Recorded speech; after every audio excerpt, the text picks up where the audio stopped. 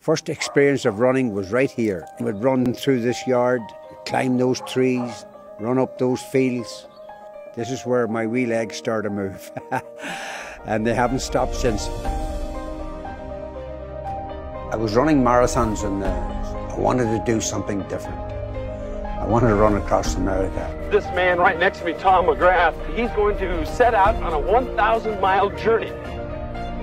Have you broken the record, Tom? Yeah, because I broke the record by uh, 12 hours and 5 minutes, 12 hours and 5 minutes. The Olympic torch made its way through the streets of New York, and everyone who carries it is a hero. I would do these beautiful runs, raise substantial amount of money for charity, and then I would celebrate. When he was running, he wasn't drinking. And when he was drinking, he wasn't running.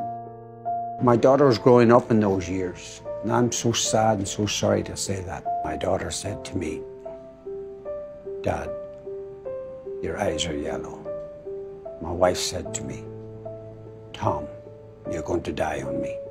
I drank myself into NYU hospital.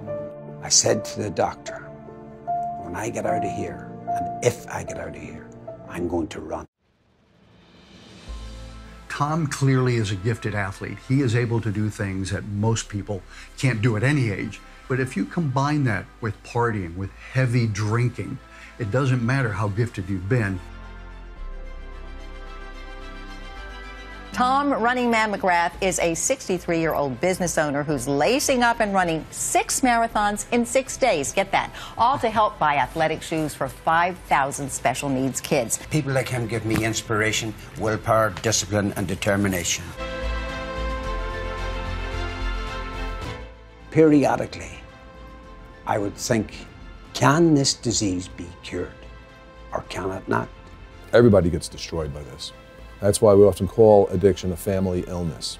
I need a new liver in order to keep living. The cardiac arrest and blood coming, presumably from his varices in his liver.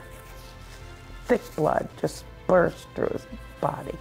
Hey, the doctor say if you don't stop drinking, bye bye. The alcohol totally killed him.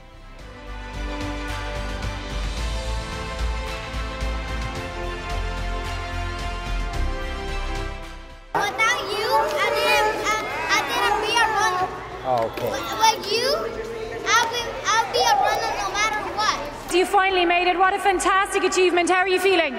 Um, I'm glad to be here in Croke Park. My, my journey is over.